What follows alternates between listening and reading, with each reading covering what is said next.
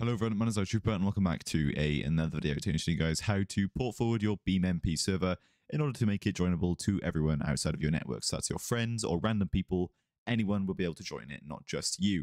To do this, we're going to be doing something called port forwarding, which you do through the firewall of your PC and your Wi-Fi network settings. So by this, it's probably not the safest thing to do if you guys are planning on having a massive BeamMP server with a bunch of random people joining, because basically they can have access to your IP address and they can see where you live. So if you guys don't want to do that, you guys can check out my website, htnetwork.one, down in the description below. Come to this page right here, and you guys can get this boy right here, the HT Network GameFlex Windows VPS, and it basically gives you a virtual Windows PC for $21 a month, which is roughly £17 and you will get a virtual Windows PC where you can run it all off with your own IP address, which doesn't lead to your house, and you can literally run any other server on it as well at the same time, or you can use it for storage. It's really up to you. This is a great way to do it if you guys don't want to use your own IP address. Otherwise, you can do it for free by going to the search bar on your PC, search for Windows Defender Firewall with advanced security and open that on up. And then we're going to find our Beam MP server, open it on up, open our server config, and inside of here, you guys will see it's going to give us our port, which in the name, port forwarding, this is what we're going to do. So we're going to copy this port right here, 30814, and we can close our server config on down. We won't need that for now. And come back to our Windows Defender firewall with advanced security. It'll be the exact same way of doing it if you had a HT Network VPS as well, because they're literally a virtual Windows PC. We're going to go to inbound rules, new rule, port, next, TCP, paste in that port we just copied, next, allow the connection, allow all of these, and we're going to call it whatever you want. BeamMP will do. And then we are done. New rule, port, next, this time we're going to select UDP. We're going to do the exact same port.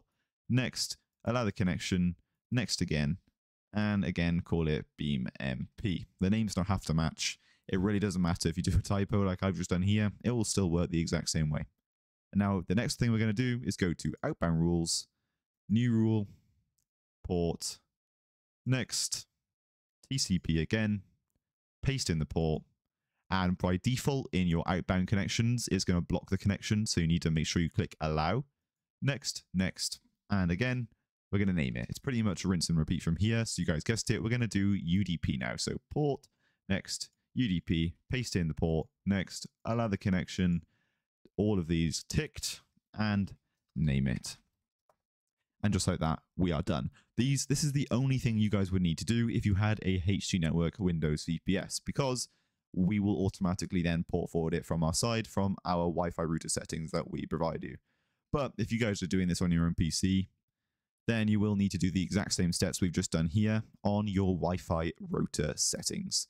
If you skip this, it's not going to work. So it's really simple to find this. It all depends on your Wi-Fi provider, so it's not the exact same. It's not really something I can show you exactly, but usually if you Google my, if you Google my Wi-Fi settings or something like that, or if you know your provider, then just search your Wi-Fi provider, and then it will give you your, there you go, I got BT, so we're going to go on to access your router with BT Hub Manager, and it will give you your IP address right here, and then you can simply copy your IP address and put it into your URL bar and it will open up the hub for your Wi-Fi router and then you'll need to log in with admin and follow the exact same steps. But other than that, I hope you guys did find this video useful. If you did, please sure to like, comment and subscribe. Be sure to comment down below what video you guys want to see next.